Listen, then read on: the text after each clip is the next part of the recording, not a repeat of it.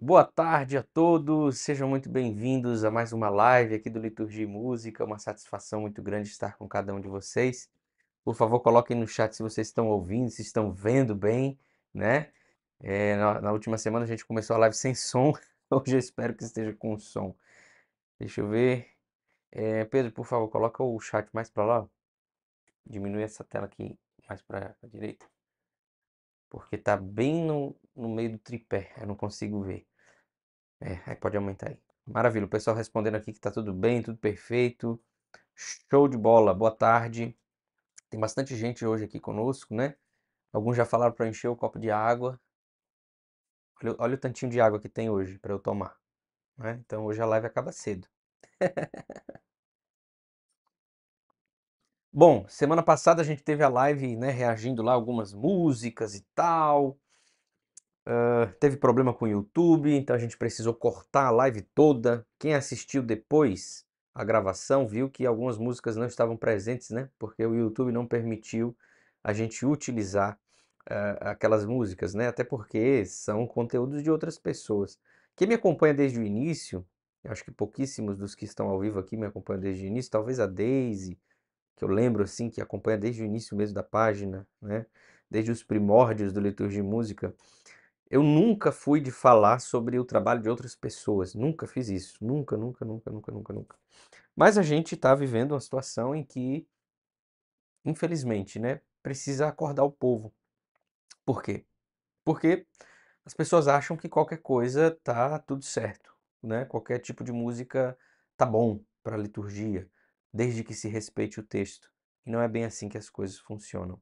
A Renata está dizendo que para ela não começou então coloquem no chat é, para Renata. Ah, para ela começou agora. Então alguma coisa lá na internet dela. Eu ia dizer no chat para vocês recomendarem ela sair e entrar de novo, né?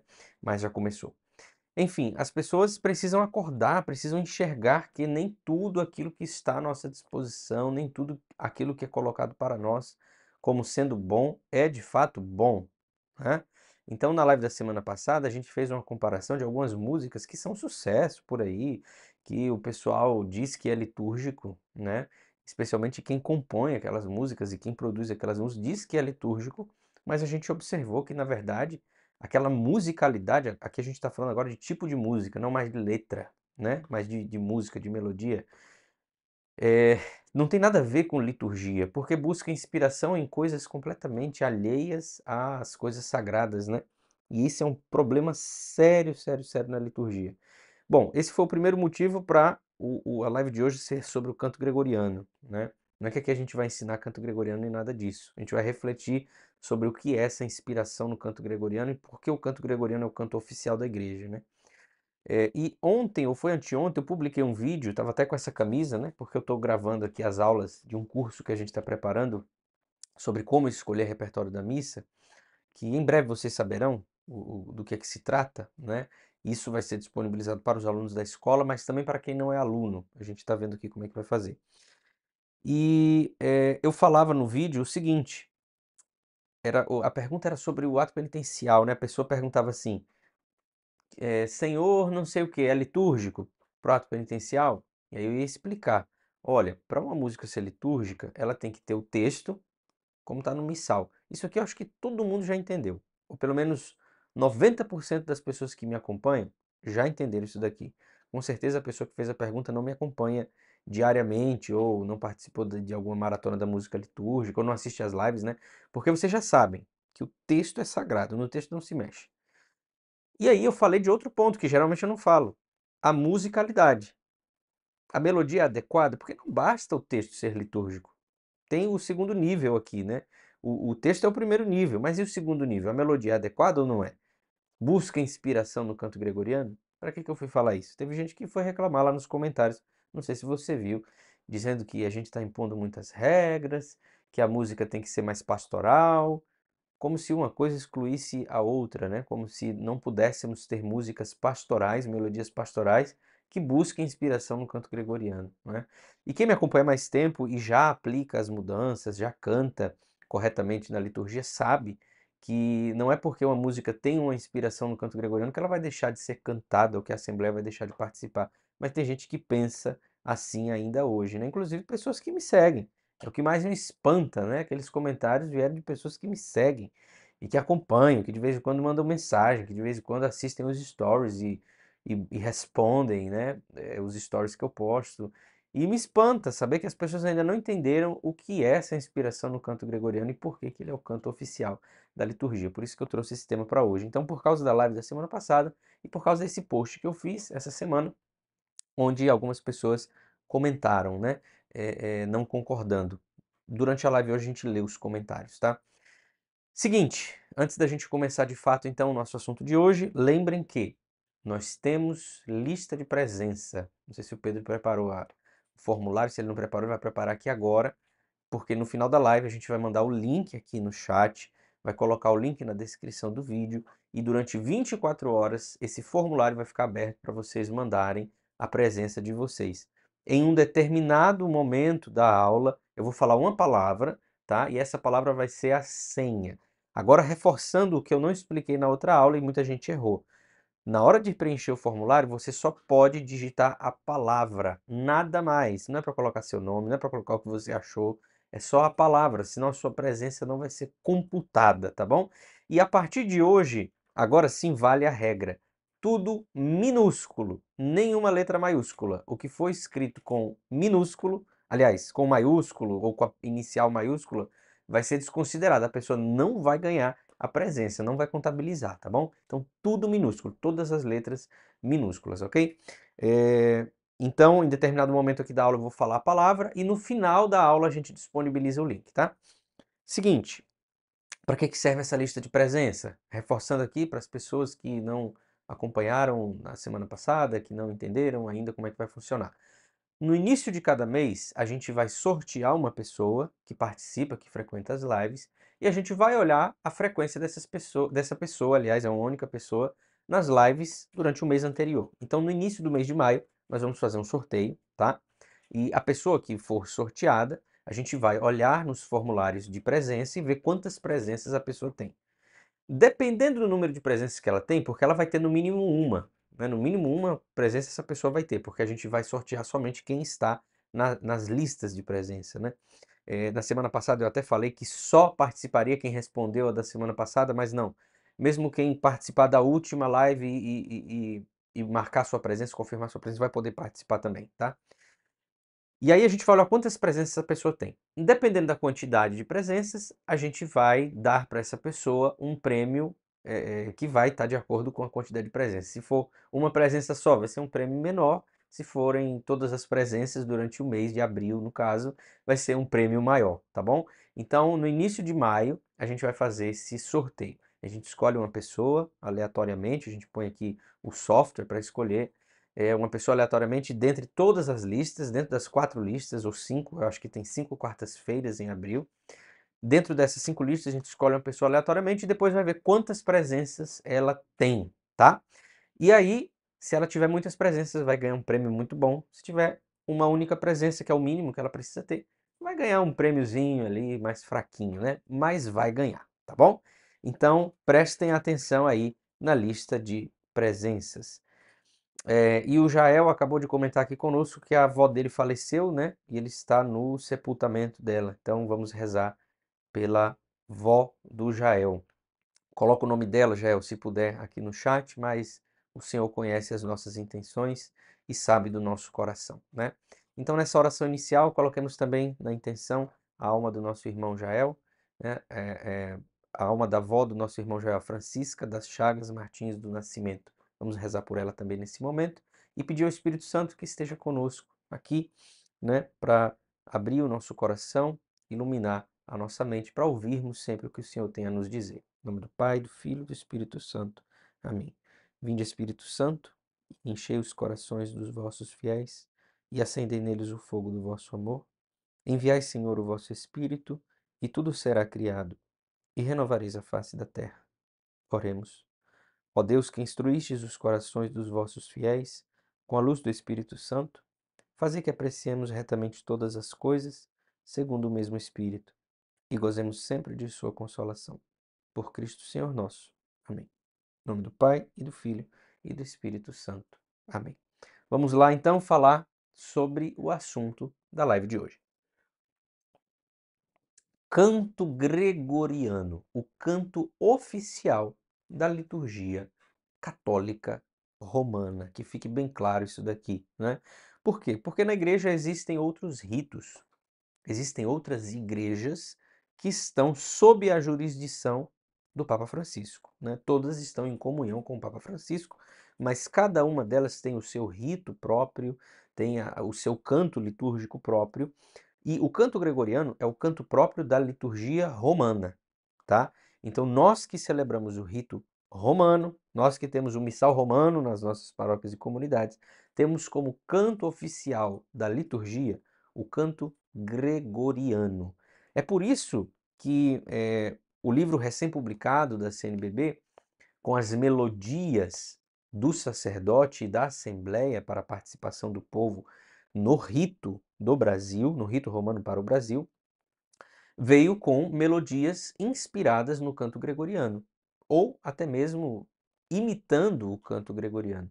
Mas por que, que elas não são o canto gregoriano? Alguém sabe dizer? Por que, que as melodias do missal não são o canto gregoriano? E por que, que as melodias desse livro, que foi recém-publicado pela CNBB, estou sem ele em mãos, esqueci na minha casa. Era para eu ter trazido. Mas aqui a gente pode colocar uma foto, né, para vocês verem. Vocês sabem por que, que não é o canto gregoriano? Deixa eu ver se vocês sabem. Colocam aí no chat, por favor. Alguém já respondeu? Coloca o chat. Aqui tá top chat para mim. Põe o chat ao vivo. Pronto. Maravilha.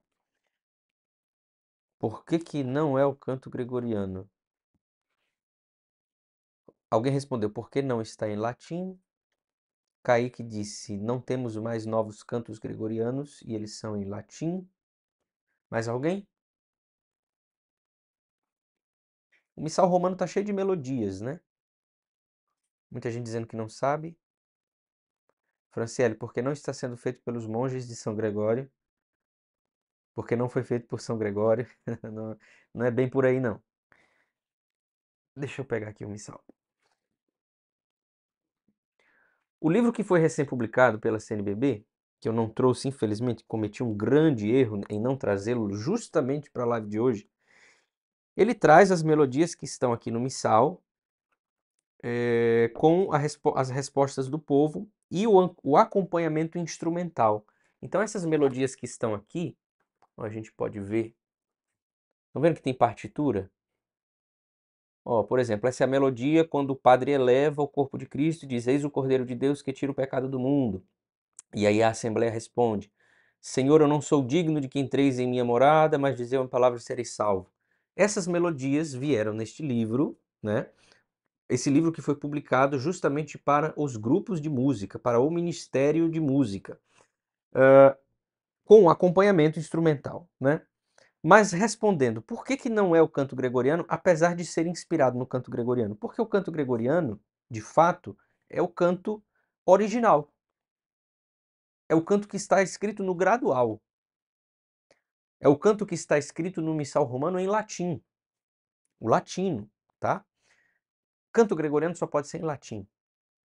Todas as outras formas de canto mesmo essas em português, que têm a melodia como a do canto gregoriano, não podem ser chamadas de canto gregoriano, tá?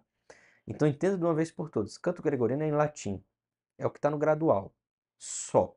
Não tem abertura para outra, o canto gregoriano é o que está no gradual, tá?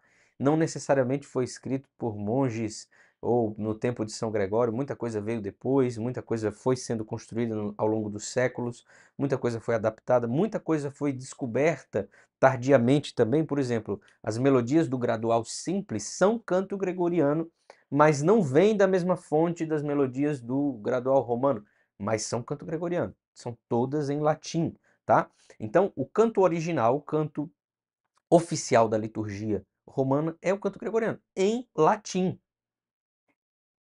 E eu duvido que nas nossas paróquias e comunidades pelo Brasil tenha alguém cantando a missa toda em latim. Eu duvido que se cante do canto de entrada até o canto final tudo em latim. Duvido que tenha alguém que me segue que na missa normal da sua paróquia canta tudo em latim do começo ao fim. Isso aqui eu duvido, né? Ou seja, ninguém canta o canto gregoriano nas paróquias, pelo menos não do início ao fim da missa. Tudo o que nós cantamos, geralmente, é inspirado no canto gregoriano. Isso sim, entendeu? É inspirado. Porque o canto gregoriano, sendo o canto litúrgico oficial, o canto da liturgia romana oficial, ele serve como fonte de inspiração para todos os outros tipos de canto. É fácil a gente entender isso quando a gente faz um paralelo com os textos. Né? Olha só, a Sacrosantum Concilium, que é o documento da Igreja do Concílio Vaticano II, né, que é, deu a abertura, deu início à reforma litúrgica que aconteceu logo após o concílio. Então, os novos textos, os novos livros litúrgicos, etc. Lá na Sacrosantum Concilium se diz o seguinte, eu vou até, eu vou até pesquisar aqui a Sacrosantum Concilium enquanto a gente fala, porque aí a gente lê junto, né? Mas na Sacrosantum Concilium se fala sobre a música litúrgica, né? Deixa eu ver se eu acho aqui a parte que fala sobre isso. Vou fazer uma pesquisa aqui na página da, da Sacrosantum Concilium. É, ela fala o seguinte, que nós precisamos, né, o canto litúrgico precisa buscar a sua inspiração em um lugar específico. Eu não sei se vocês lembram disso. Não estamos falando de melodia aqui, tá? Estamos falando de texto, de texto. Vamos ver aqui se eu acho. Procurar assim no improviso é mais difícil. Mas eu achei. Vamos lá. Vou compartilhar aqui com vocês. Será que está aparecendo, hein? Está aparecendo. Opa! Olha aqui, ó, normas para os compositores. Ponto 121 da Sacrosanto Contínuo. Os compositores, possuídos do espírito cristão, compreendam que são chamados a cultivar a música sacra e a aumentar-lhe o patrimônio.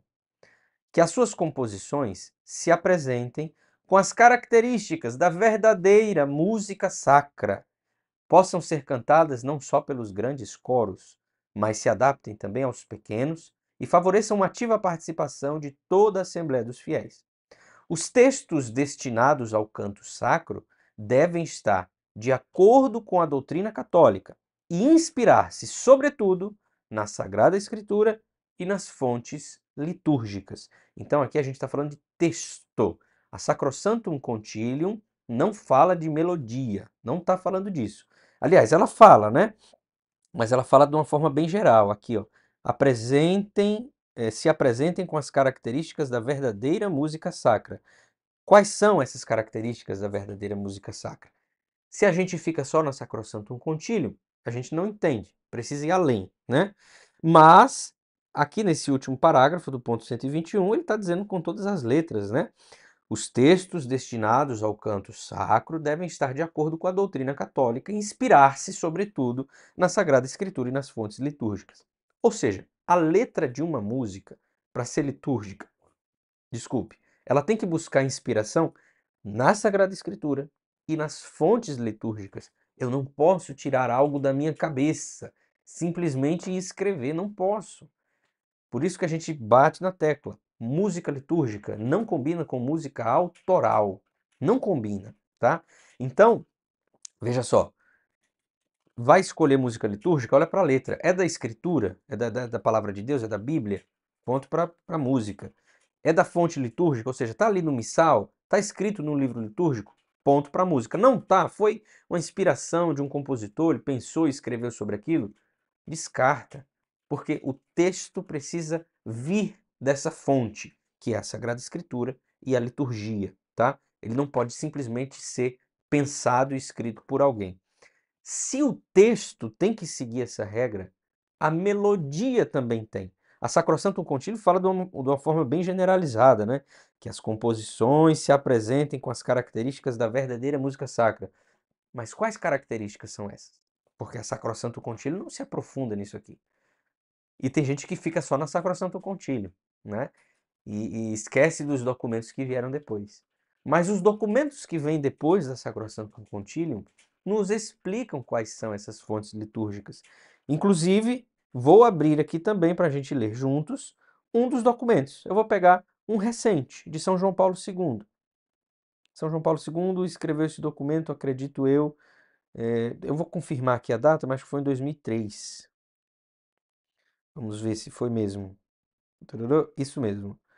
22 de novembro de 2003, no dia de Santa Cecília. É esse documento aqui.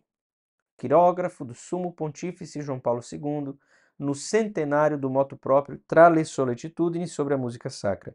Então, isso aqui era a comemoração de 100 anos da publicação de um documento muito importante para a música litúrgica, que foi esse documento aqui, Tra le Soletitudine, escrito por São Pio X, né, 100 anos antes da publicação desse documento de São, Paulo, é, São João Paulo II. E aqui ele fala, vamos buscar, buscar na página, ele fala sobre o canto gregoriano. Ó, primeiro ponto que ele fala aqui, número 7. Entre as expressões musicais que mais correspondem à qualidade requerida eh, pela noção de música sacra, particularmente a litúrgica. Opa, então aqui a gente já tem, já tem dois conceitos para a gente poder separar na nossa cabeça. Música sacra não significa música litúrgica. Nós temos universos diferentes aqui, tá? Vamos escrever isso daqui, vou fazer um, um pequeno diagrama aqui para vocês. Olha só, atenção. Nós temos um grande universo da música sacra. Nossa, como essa caneta está grossa. Música sacra. Dentro da música sacra, nós temos um universo um pouquinho menor, que é a música litúrgica. Certo? Então, a música litúrgica ocupa um espaço dentro desse grande universo da música sacra. A música sacra como um todo tem regras. Sim, tem regras. A gente falava na, na live da semana passada né, sobre os estilos musicais e se perguntava como é que uma música que se inspira numa música de anime, numa música de batalha épica, pode nos levar à contemplação e à oração? Impossível, porque a música não foi feita para aquilo, né? A música sacra, pelo contrário, ela nasce santa. Ela nasce santa. Então, ela busca sua inspiração nas coisas santas, não nas coisas profanas, entende? E qual é a função da música sacra? Transparecer né, a sacralidade das coisas divinas. Essa é a função da música sacra. E a música litúrgica, que está dentro da música sacra, muito mais precisa respeitar e obedecer essas características da música sacra de forma geral. Então, São João Paulo II, quando fala aqui no seu quirógrafo, né, é, entre as expressões musicais que mais correspondem à qualidade requerida pela noção de música sacra, particularmente a litúrgica, ele está dizendo, especialmente a música litúrgica. Isso vale para a música sacra em geral, mas a música litúrgica principalmente, né, essa regra que vale. O canto gregoriano ocupa um lugar particular. O Concílio Vaticano II está aí para quem fala que depois do concílio tem que é, modernizar e não sei o que, não sei o que reconhece-o como canto próprio da liturgia romana, a qual é preciso reservar, na igualdade das condições, o primeiro lugar nas ações litúrgicas celebradas com canto em língua latina. Olha só. Quando o canto for em latim, preste atenção, aqui vale para quem canta alguma parte do ordinário da missa em latim o primeiro lugar precisa ser da melodia gregoriana, do canto gregoriano, tá? Em igualdade, como é que ele fala aqui? É, em igualdade, na igualdade das condições, o primeiro lugar nas ações litúrgicas celebradas com canto em língua latina é do canto gregoriano. São Pio X ressaltava, opa, problema de abrir no, no site é isso. São Pio X ressaltava que a igreja o herdou dos antigos padres, guardando-o ciosamente durante os séculos nos seus códigos litúrgicos, os livros litúrgicos, né? E ainda hoje o propõe aos fiéis como seu, considerando-o como supremo modelo de música sacra. O canto gregoriano, portanto, continua a ser também hoje um elemento de unidade na liturgia romana. Então, guardem essa frase que está aí sublinhada para vocês, que está marcada.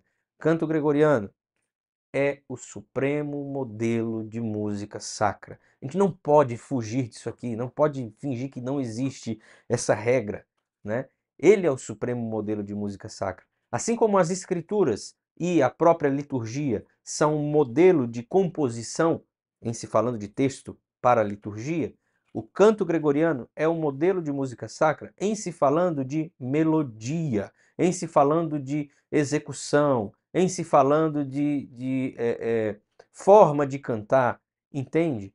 Tudo que o canto gregoriano passa para as pessoas, ou faz as pessoas sentirem, as outras músicas litúrgicas precisam fazer também, tá bom? E aí o Fábio fez uma pergunta, aí está o problema. O canto gregoriano está em primeiro lugar, mas pode-se usar outros. Outros quais? Gospel, popular, carismático, romântico. É aí que está o problema. Gospel se inspira no canto gregoriano? Me diga, Fábio, o que é que parece da música gospel com o canto gregoriano? Me diga você. Vamos lá, vou esperar o Fábio responder. Já que ele fez a pergunta, estou devolvendo a pergunta para o Fábio. Vamos lá, vamos lá. O que que a música gospel parece com o canto gregoriano? Vamos lá, vamos lá, Fábio. Quero ver sua resposta. Enquanto o Fábio vai respondendo, para a gente comentar, vamos continuar, tá? Então, o canto gregoriano é o modelo supremo. O que é modelo? O que é modelo?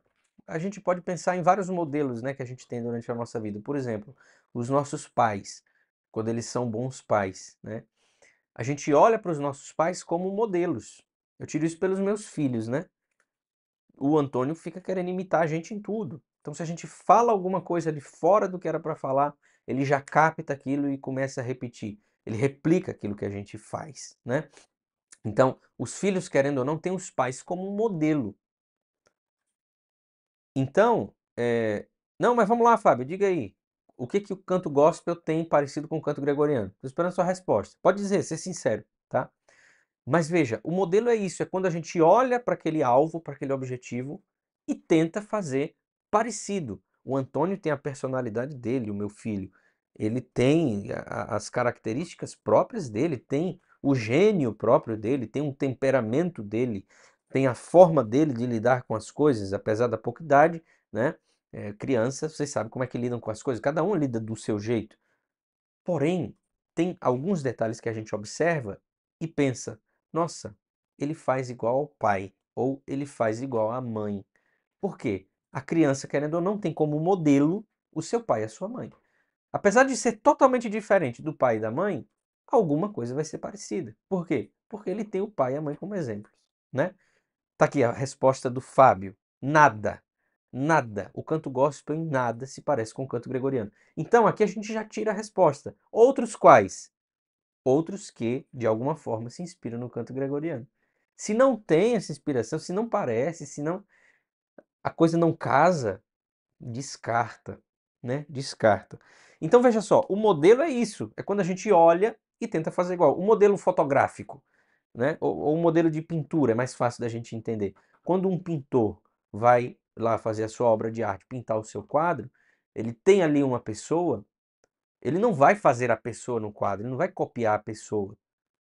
Não, não vamos ter depois da obra feita duas pessoas iguais, idênticas. Não, a gente vai ter uma imagem daquela pessoa. E o artista, com certeza, coloca características suas na obra que ele faz. Leituras que ele mesmo faz daquela, daquele modelo, daquele objeto ou daquela pessoa que serviu como fonte de inspiração. Isso é modelo. Isso é modelo, tá?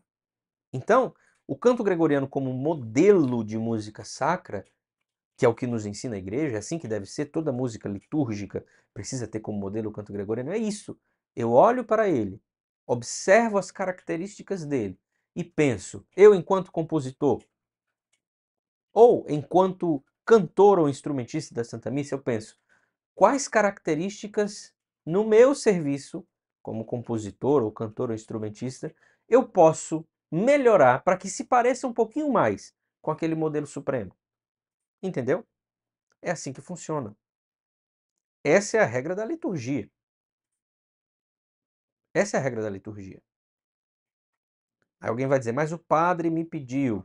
Pois é, o padre pediu, mas a gente vai trabalhar para mudar a consciência das pessoas.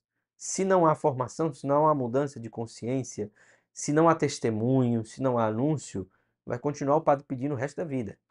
Se há testemunho, se há formação de consciência, se há formação das pessoas, a realidade muda, muda da água para o vinho. Né? É, é fácil? Não, não é fácil. Mas é o nosso chamado é esse, né? A gente não tem para onde correr, é o nosso chamado. Então quem abraçou a cruz do serviço à liturgia sabe que o, o serviço é esse. O Papa Francisco é perseguido todos os dias por falar a verdade, né? É, é, é, é jogam pedra no Papa Francisco todos os dias quando ele fala da liturgia e quando ele não fala também. Então, se o Papa, que é o Papa, até do Papa os padres falam, até do Papa leigos falam, quem dirá nós meros mortais, né? Então, o nosso chamado é esse: fazer aquilo que é certo, né? E ensinar as pessoas, ensinar através do testemunho principalmente, né? Então, pode ser que o padre esteja pedindo hoje para você fazer uma coisa errada. Aí você vai tentar achar o equilíbrio, tentar achar o meio termo, enquanto forma as pessoas que estão ao seu redor, porque essa é a missão de todo católico, de todo cristão. E é engraçado, né? Quando a gente não pensa no ambiente da igreja, quando a gente pensa no ambiente de fora, da família, com os nossos filhos ou com os nossos parentes, às vezes até com os nossos pais, a gente tenta ensinar alguma coisa o tempo todo para eles, né? Até para os nossos pais. Até os nossos pais a gente chama a atenção. Pai, você devia fazer isso. Mãe, você devia fazer isso. Mas para os nossos irmãos de comunidade nós não temos coragem. Às vezes a gente faz isso com os colegas de trabalho ou com os colegas de escola. A gente aconselha as pessoas, a gente dá testemunho para as pessoas daquilo que nós cremos, daquilo que nós vivemos, mas na igreja, que é o lugar principal da gente fazer isso, nós não temos coragem de fazer, né? Nós não temos coragem de testemunhar aquilo que nós acreditamos, aquilo que nós sabemos que é a verdade. Então, atenção, é tarefa de todos nós, tá? Anunciar às pessoas a verdade. Sobre a música sacra, qual é a verdade? Que o canto gregoriano também hoje continua a ser o modelo supremo de música sacra, ok? Uh, aí continuando aqui, São João Paulo II diz o seguinte: como já fazia São Pio X, também o Concílio Vaticano II reconhece que os outros gêneros de música sacra, cadê aqui? Uh, música sacra, e especialmente a polifonia, não são excluídos de modo algum da celebração dos ofícios divinos. É preciso, portanto, avaliar com atenção as novas linguagens musicais para recorrer à possibilidade de expressar também com elas as inextinguíveis riquezas do mistério reproposto na liturgia e favorecer assim a participação ativa dos fiéis nas diversas celebrações. Então, veja só, gêneros de música sacra gêneros de música sacra. Não é música secular. Não é. É música sacra. Qual é o modelo supremo de música sacra? O canto gregoriano. A partir dele surgem outros gêneros, outros estilos de música, inclusive músicas modernas. Tá? Escute Marco Frisina. Música sacra moderna. Tem nada a ver com o que toca no rádio, o que toca na TV, o que as pessoas escutam em casa né? o que passa na, na novela ou no filme, não tem nada a ver. Ali é música sacra moderna. Tem uma certa inspiração no canto gregoriano. Mas veja, as músicas do Monsenhor Frisina geralmente não são salmodiadas. Não tem a salmodia em algumas músicas, não estou dizendo que é regra, mas muitas músicas de Monsenhor Frisina, por exemplo, Anima Christi. Vocês já devem ter ouvido Alma de Cristo, Anima Christi, na melodia do Monsenhor Frisina. Alma de Cristo, santificai-me. Corpo de Cristo, salvai-me. É uma música que tem ritmo o tempo todo. Você não tem uma parte dessa música que tem a salmodia, você não tem. Ela o tempo todo tem ritmo e ritmo marcado. Mas veja, a suavidade do canto gregoriano está presente aqui. A beleza melódica do canto gregoriano está presente aqui, apesar de não ser canto gregoriano. Então é uma música moderna, que tem elementos de música moderna mesmo, que se inspira de alguma forma no canto gregoriano, porque ele é o modelo supremo de música sacra. Então, os bons compositores de música sacra vão buscar onde? No canto gregoriano, a fonte de inspiração. Por mais que elementos da sua musicalidade, da sua composição, sejam próprios do compositor. Ele coloca os seus dons a serviço da igreja, a serviço da liturgia. E aí transforma tudo isso em música, tendo como inspiração o canto gregoriano. Né? Ainda aqui, São João Paulo II faz o seguinte. Deixa eu pegar aqui o, o, o trecho que ele fala exatamente sobre este assunto. É o ponto número 12 do documento. Olha só. No que diz respeito às composições musicais litúrgicas, faço minha a regra geral que São Pio X formulava com estes termos. Uma composição para a igreja é tanto sacra e litúrgica quanto mais se aproximar no andamento, na inspiração e no sabor da melodia gregoriana. E tanto menos é digna do templo, quanto mais se reconhece disforme daquele modelo supremo.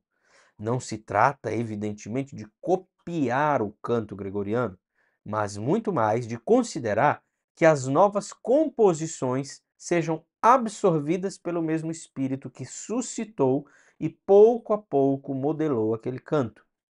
Somente um artista profundamente mergulhado no sensus ecclesiae pode procurar compreender e traduzir em melodia a verdade do mistério que se celebra na liturgia.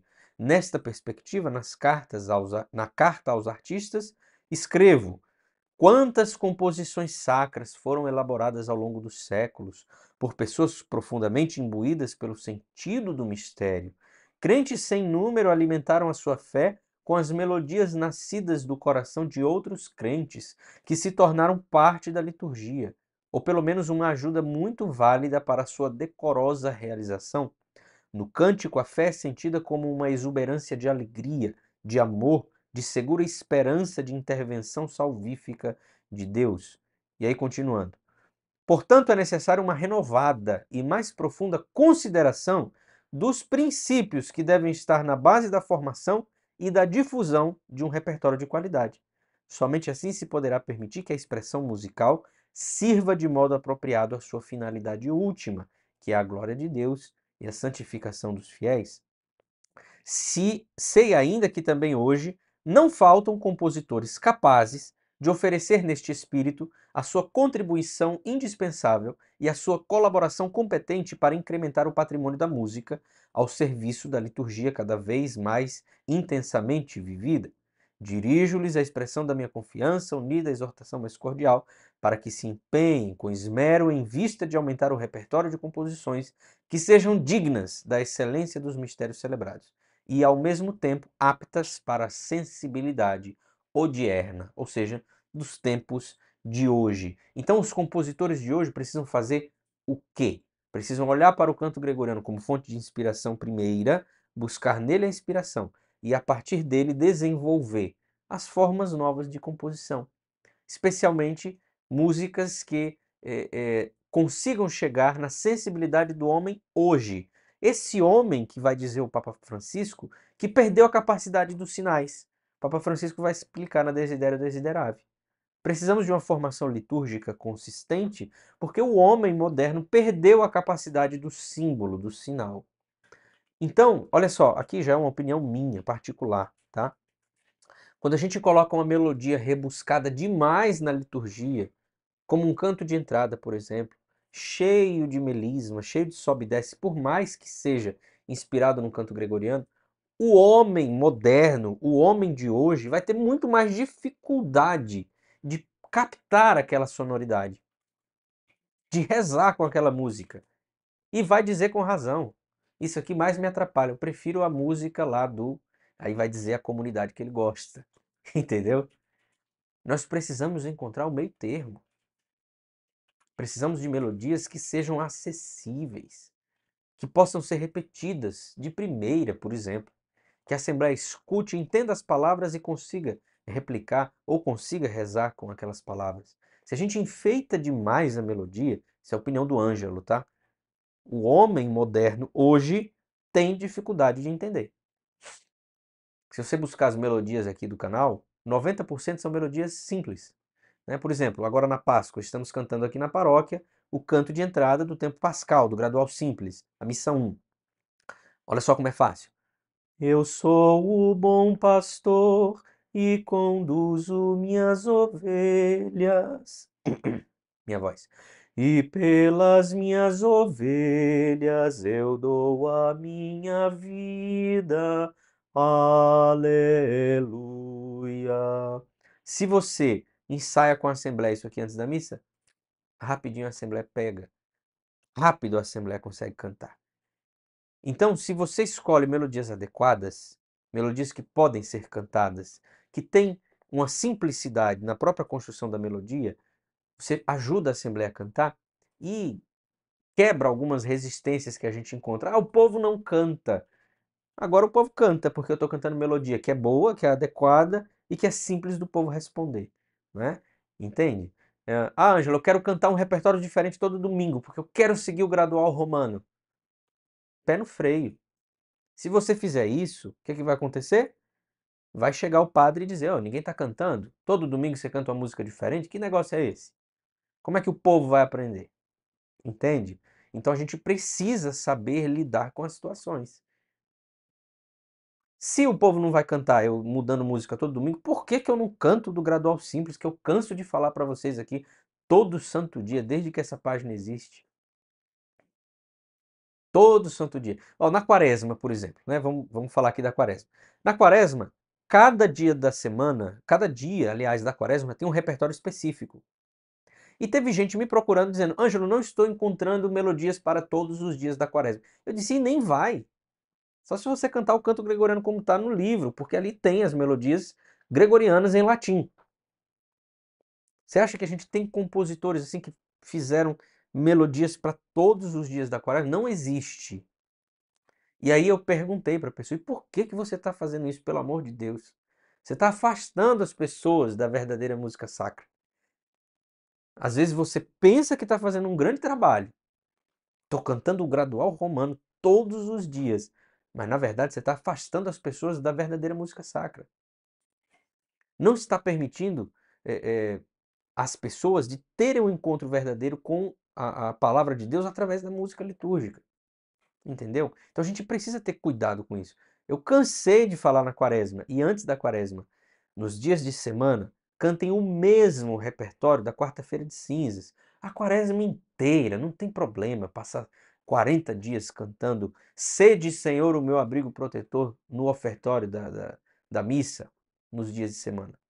Mas façam isso porque é o que a igreja nos ensina a fazer. O gradual simples, não sei se vocês sabem disso, está escrito no gradual simples, na capa dele, tá difícil aqui o acesso, eu não consigo pegar ali atrás. Mas na capa dele está escrito para o uso das igrejas menores. Como assim, Ângelo, o uso das igrejas menores? As paróquias, as comunidades, né? Ele foi feito pensado é, é, para essas situações, entende? Então a gente precisa ter essa sensibilidade. Quando a gente fala de canto gregoriano, lembra, o gradual simples também é o canto gregoriano. E é muito mais simples do que o gradual romano. A simplicidade que eh, o, o repertório litúrgico precisa ter pode se inspirar no canto gregoriano do gradual simples, que tem melodias simples, que tem antífonas curtas, que tem vários versículos ali sendo respondidos após cada antífona. Essa é a inspiração que a gente tem que buscar no canto gregoriano para os dias de hoje. Estou falando aqui de Brasil, a realidade mesmo das paróquias, né? Pelo que eu vejo todos os dias aqui nas redes sociais, né? Entende? Então esse é o trabalho que a gente precisa fazer nas nossas comunidades. Não ficar buscando um monte de repertório, um monte de música. Não, simplificar um pouquinho. Inclusive, esse ano, aqui na paróquia, né, eu junto com a coordenação, nós decidimos voltar um degrau no repertório pascal. Porque no ano passado, sim, a gente cantou uma antífona para cada domingo da Páscoa. Esse ano a gente definiu, não, vamos voltar um degrau na Páscoa e cantar um repertório do gradual simples durante toda a Páscoa. Porque a gente favorece não só a participação dos fiéis, mas também ajuda aquelas pessoas que estão chegando agora no grupo de música, que precisam aprender, que precisam se formar, que vão cantar conosco. É muito mais fácil, né? Você trabalhar com essas pessoas um repertório que se repete por mais tempo. E a igreja permite isso. Tem gente que acha que o gradual romano está acima do gradual simples, é, é como se um fosse melhor do que o outro e usar o gradual simples fosse ruim. Sabe o que é ruim? É você cantar as músicas de anime na missa. Isso é que é ruim. Não você cantar as antífonas do gradual simples. Bom, é, uma pausa aqui no conteúdo. Pedro vai colocar aí na tela a palavra de hoje. A palavra de hoje é, não é Naruto. A palavra de hoje é gregoriano. Tudo minúsculo, tá? No final da live a gente vai deixar o link é, é, para vocês preencherem a lista de presença. Então, do jeito que está escrito aí, ó, gregoriano. Essa vai ser a palavra-chave, vai ser a senha da nossa live de hoje. E lembrando que essa, esse formulário só fica disponível 24 horas, tá? Amanhã, às 16 horas, ele vai sair do ar, ok? Maravilha, pode tirar aí da tela. Show. E apaga aí o comentário da Sofia, que escreveu a palavra no chat. Não pode escrever no chat. Bom, então entendemos, eu espero que vocês tenham entendido, né? Eu espero que vocês tenham entendido que o canto gregoriano é o canto oficial da liturgia, ele só é em latim, ninguém canta gregoriano hoje nas nossas paróquias, salvo uma música ou outra, um Kyrie, um Agnus Dei, no máximo. Ninguém canta um repertório inteiro do canto gregoriano hoje nas nossas paróquias. Estou falando aqui o, o, o, normal. Tem paróquias que rezam a missa em latim, mas isso aqui é, sei lá, 0,5% das paróquias no Brasil, ou menos, fazem isso, né? Estou falando da maioria. Canto gregoriano é o canto oficial da liturgia. Todos os outros tipos de canto precisam buscar no canto gregoriano a sua inspiração. Todos os cantos que se destinam à liturgia, tá? De alguma forma, buscar no canto gregoriano a sua fonte de inspiração. Do mesmo jeito que o, a letra da música precisa buscar na escritura e nos livros litúrgicos a sua fonte de inspiração, ok? Uh, então, São João Paulo II reafirmando aquilo que São Pio X diz aqui, só para a gente recordar esse ponto, olha aqui, a partir daqui, ó. Uma composição para a igreja tanto sacra e litúrgica, quanto mais se aproximar, etc, etc, e menos é digna do templo, quanto mais se reconhece disforme. Essa regra que São João Paulo II, 100 anos depois da publicação do documento de São Pio X, reafirma, essa regra vale até hoje, gente. Vale até hoje. Se o canto se distancia do canto gregoriano, se o canto parece música de anime, é porque não parece o canto gregoriano. Se tem aquela barulheira toda, não parece canto gregoriano, porque o canto gregoriano é suave. O canto gregoriano transmite serenidade. O canto gregoriano, aqui a gente pode olhar para as melodias do gradual simples, tem uma melodia simples também certo? Então nós precisamos ter esse cuidado ao escolher o repertório. Eu vou pegar aqui os comentários, o comentário ou, ou os comentários é, da publicação que eu falei. A publicação foi essa aqui, olha, sobre o ato penitencial. Depois vocês olham. Teve até uma pessoa que achou ruim, né? É, porque a pessoa perguntou se tal. Olha aqui como é que está escrito. Senhor que viestes não para condenar, e Senhor que viestes ao mundo. Kíria, são litúrgicos? Eu disse que eu não conhecia as músicas, né? Aí a, o, o rapaz falou assim, quer ver? Ou seja, é mais fácil não responder quando ninguém sabe de nada. Como se eu fosse obrigado a conhecer todas as músicas do mundo, né? é demais. Mas vamos lá, olha aqui os comentários que fizeram. Ó, um dos comentários, tá? Não vou colocar aqui. Escolher liturgicamente referente à letra é correto. Mas nas paróquias, vemos a guerra de quem canta a melodia alinhada ao canto gregoriano se ensoberbecendo, apontando quem não canta com essa melodia. E os que não usam essa melodia atacam quem usa, sendo que os dois modos são corretos, desde que litúrgicos no tocante à letra. Opa, então posso cantar com a melodia das músicas da Anitta, né? Se os dois modos são corretos, tem que ser ensinado certo. Acabar com esse comportamento. Eu concordo com esse comentário no que ele diz respeito ao comportamento. Não é atitude de cristão ficar apontando, dizendo que fulano está errado. Isso não é atitude de cristão. Não é assim que se resolvem as coisas, né? A gente anuncia, a gente convence pelo testemunho. Não dizendo, olha, isso aí está errado, eu sou melhor do que você porque eu canto assim. Não, isso não é atitude de cristão. Mas dizer que os dois modos são corretos, eu respondi, cuidado ao dizer que os dois modos são corretos. Toda boa música litúrgica busca no canto gregoriano, de algum modo, sua fonte de inspiração. No vídeo eu falo, eu não falo em melodia gregoriana, mas inspirada no canto gregoriano, que são coisas diferentes, que foi o que nós explicamos durante essa live. E aí ele disse: está aumentando o fanatismo nas paróquias, grupinhos atacando um ao outro. Concordo com isso aqui. A gente falou sobre isso na maratona de fevereiro, né? A primeira aula foi só sobre isso. Se o canto gregoriano fosse o único certo, não teria acontecido o Concílio Vaticano II. Ah, então o Concílio Vaticano II só aconteceu porque o canto gregoriano não era o único certo. Olha o nível de argumentação desse povo. Olha o nível de argumentação. Né? E acabamos de ver que o Concílio Vaticano II reafirma que o canto gregoriano é o oficial da liturgia. Né?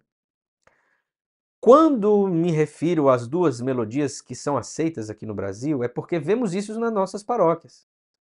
Esse ataque de visão de quem canta a melodia de canto gregoriano, que é permitido na igreja, para quem não canta, nananana, é...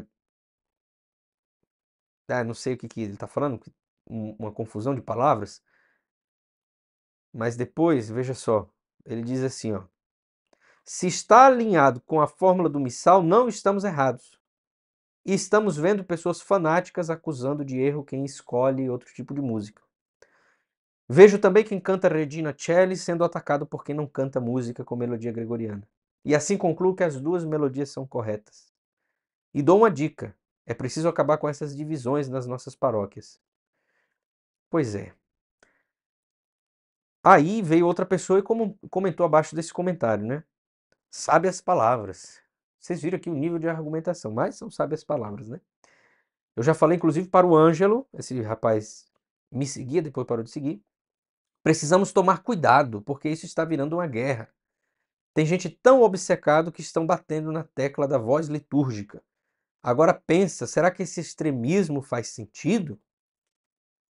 Olha só o que essas pessoas estão dizendo. Extremismo. Dizer que uma melodia precisa se inspirar no canto gregoriano é extremismo, virou extremismo. Falar o que, a, o que a igreja fala virou extremismo.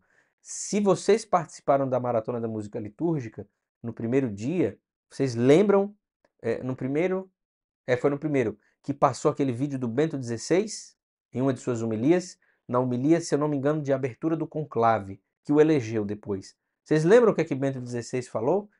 Quem era considerado extremista, quem era considerado fanático, quem seguia o que a igreja diz.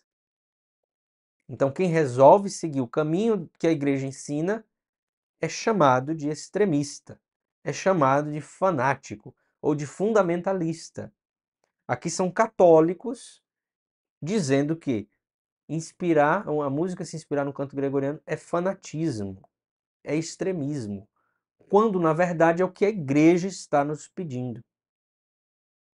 Quando é, é, os documentos todos da igreja falam sobre isso. Não é uma, uma besteira, entendeu? Concordo quando ele diz que as pessoas estão se dividindo. Mas por que estão se dividindo? Porque não querem seguir o que a igreja diz. Se seguisse o que a igreja diz, não tinha essa divisão toda dentro da igreja. Todo mundo ia seguir o que a igreja está pedindo nos documentos. Né? E aí, outro comentário que diz o seguinte: Amo liturgia. Geralmente alguns comentários começam assim, amo liturgia. Ou gosto muito de liturgia, ou conheço muito a liturgia. E procuro seguir todas as orientações do missal, da CNBB, etc. No entanto, opa, amo a liturgia, mas temos que tomar um certo cuidado para não impor regras demais e deixar pouco espaço para o Espírito Santo falar e agir. Ah, então colocar regras significa impedir a ação do Espírito Santo. Olha o nível de argumentação de novo. Porque quem foi que impôs a regra? O próprio Deus. Deus estabeleceu assim. Se vocês lembrarem do Antigo Testamento, né? Eh, a antiga aliança, quando Deus estabelece a liturgia ali com Moisés, era justamente a partir daquela liturgia que Deus falaria ao seu povo, que Deus se faria presente no meio do seu povo. É por isso que a, a, a missa tem a liturgia própria. É somente através daquela liturgia que Cristo se torna presente sobre o altar, o próprio Deus. É quando o padre impõe as mãos que o Espírito Santo age e transforma, transubstancia o pão em corpo, o vinho em sangue. É por causa da regra. É por causa, não da regra, do segmento da regra. Se o padre falar outra palavra no lugar daquela fórmula, não acontece a transubstanciação. O Espírito Santo não vem e transubstancia o, o pão em corpo e o vinho em sangue. Se o batismo for feito com a fórmula errada, nós te batizamos, não acontece o batismo. O Espírito Santo não vem. Entende? Então, segundo essa pessoa aqui, impor regras demais é limitar a ação do Espírito Santo. Quando na verdade a igreja nos ensina exatamente o contrário.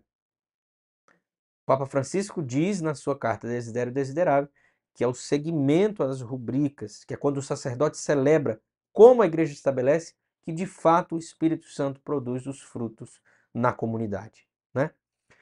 Depois, olha o argumento. Jesus mesmo resumiu as incontáveis leis judaicas em apenas duas: o amor a Deus e ao próximo. Ele resumiu, ele sintetizou. Ele não excluiu as outras. Porque o não roubar entra no amor ao próximo. É óbvio. Entende? Então, se eu amo o próximo, é óbvio que eu não vou roubar o meu próximo. Não cobiçar as coisas alheias entra no amor ao próximo. Se eu amo o meu irmão, não vou invejar o meu irmão. Jesus resumiu, ele não apagou os outros mandamentos, né? Eu não vim abolir a lei, eu vim cumprir a lei, diz o próprio Senhor. E aí ele continua: não podemos jamais regredir ao pré-concílio Vaticano II. Mas é o Concílio Vaticano II que diz que o canto gregoriano é o canto oficial da liturgia. E graças a Deus, o Papa Francisco tem pautado bastante isso. Faltou só ele ler a Desidério Desiderável. Ou saber interpretar, né? Porque a pessoa que usa desse argumento, dizendo que impor regras na liturgia é limitar a ação do Espírito, é porque não tem uma boa capacidade de interpretação dos próprios documentos da igreja. Né? Depois, a liturgia deve libertar. Entenda o libertar, não tem nada a ver com teologia da libertação jamais escravizar e nos robotizar. Uma coisa que valorizo muito é a participação da Assembleia. Então, opto sempre, sempre respeitando as normas. Ah, então tá obedecendo as regras? Não estou entendendo. Está obedecendo as regras ou não está obedecendo as regras? Ou será que ele escolhe as regras que vai obedecer, né? Sempre respeitando as normas. Então tem que respeitar as normas. É, esse é o nível de argumentação. Né? Uh, sobretudo os tempos litúrgicos. Escolho cantos e melodias mais pastorais, deixando essas formas mais solenes para solenidades, até para não ficar parecendo que é sempre a mesma coisa. Paz e bem. Aí terminou com paz e bem.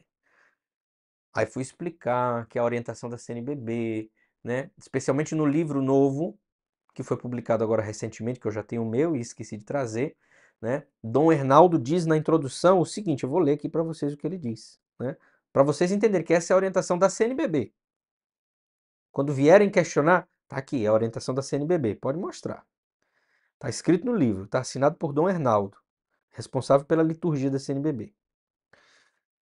Este livro também será útil, diz ele, aos músicos que atuam ministerialmente em nossas celebrações, contribuindo para que a música litúrgica a partir de sua fonte gregoriana, torne a Eucaristia, as Eucaristias, ele diz, expressões da dignidade que este sacramento tem e merece.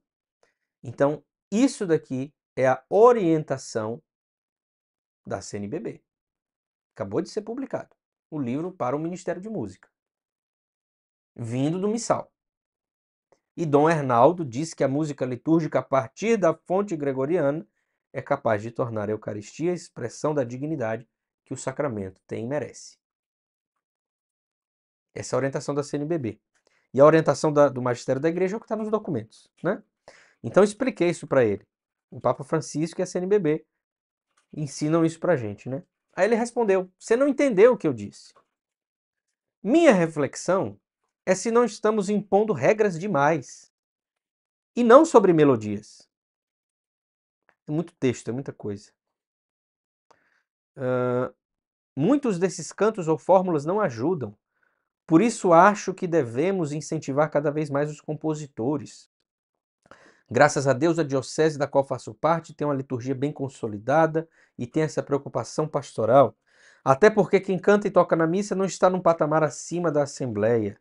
Somos todo povo de Deus. Resumindo, músicas litúrgicas sim, mas com cuidado e caridade pastoral. Uma celebração engessada, sem a menor brecha para criatividade, para o Espírito Santo. Ah, cansei. Cansei de ler esses comentários aqui. Mas veja, depois você pode ler o comentário lá, entender melhor o que, que o rapaz falou. E é engraçado, a pessoa que segue, que acompanha, né? Não entendo. Não entendo. Talvez não entre na cabeça da pessoa, né? Que a gente precisa fazer aquilo que é a vontade de Deus, que se expressa nos documentos da igreja. E não a partir de inspirações pessoais, né? Deixa eu ver o que o pessoal está falando aqui. Uh... O bispo diocesano pode legislar sobre a música, instrumentos permitidos e repertório? Pode. Agora, se o bispo manda fazer algo que não, que, que não é litúrgico ou que é um abuso litúrgico, aquela lei por si só não vale. Entendeu? Se o bispo, sei lá, vai que acontece isso com o bispo, decreta que na sua diocese, a partir de hoje, não se use mais pão para ser consagrado na missa, mas se use biscoito. Entendeu? Ali não vale. É uma regra que não pode ser seguida, né? É claro que isso aqui é um, é um abuso gravíssimo. Com certeza todos os padres se mobilizariam, etc, etc, etc. Agora, os abusos menores, vai recordar São João Paulo II, eles não podem ser deixados para lá. Se tem abuso, tem que ser combatido. Né? Esse negócio uh, de querer selecionar o que quer seguir algo que já diz claramente que a pessoa não entendeu o que é ser católico. O católico aceita tudo o que diz a igreja, por amor, né? e não metades. É isso mesmo. Fomos dar uma formação onde antes de nós foi um diácono que falou sobre a criatividade na liturgia. Assunto perigoso. Pois é, não cabe criatividade na liturgia fora da norma litúrgica. É dentro da norma litúrgica que cabe a criatividade. Né? Então, existem as normas, existem a, as rubricas, existem, mas cada comunidade vai acabar, né? isso, isso é normal, é de se esperar que seja assim, cada comunidade vai dar o seu rosto para aquela norma ou para aquela rubrica, né? Então, por exemplo, cada comunidade vai buscar sua própria sonoridade musical. Isso é normal, que no decorrer dos anos a gente vá ajustando as coisas até chegar num ponto bom, né? Mas vai ser diferente eu ir numa paróquia e ir em outra paróquia. Porque os músicos são diferentes, as pessoas são diferentes. Alguma coisa vai ter de diferente, né? É, por exemplo, sei lá, inventar aqui na, na liturgia tem determinados momentos que a gente faz inclinação. Alguma comunidade vai fazer uma inclinação um pouquinho mais profunda do que a outra, uma vai fazer uma, inclinação mais demorada do que a outra, outra mais curta, mas todas estão respeitando a norma, entende? Cada grupo, cada comunidade vai achar a sua forma de é, é, se expressar dentro do rito. Tem rubricas, tem normas que permitem até uma escolha. Por exemplo, o ato penitencial, a gente pode escolher entre três fórmulas. E na terceira fórmula ainda tem um monte de texto que a gente pode escolher. Pastoralmente, o que é que eu posso fazer?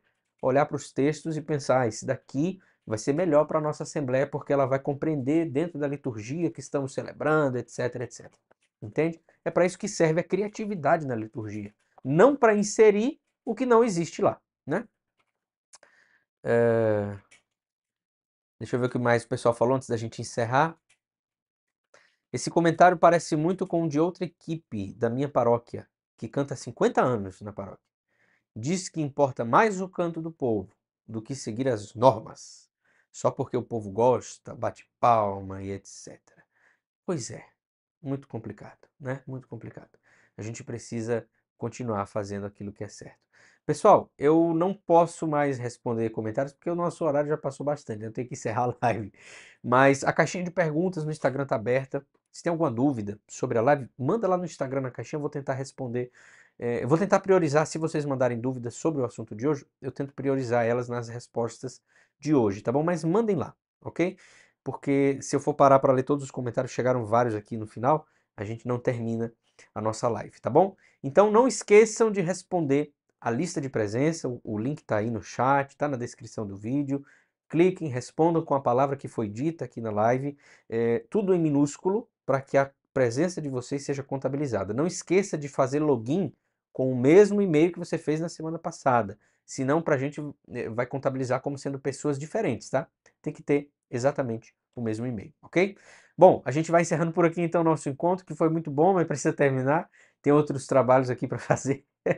Deus abençoe a todos vocês. A gente se vê lá no Instagram, tá bom? Tchau, tchau, gente. Até a próxima.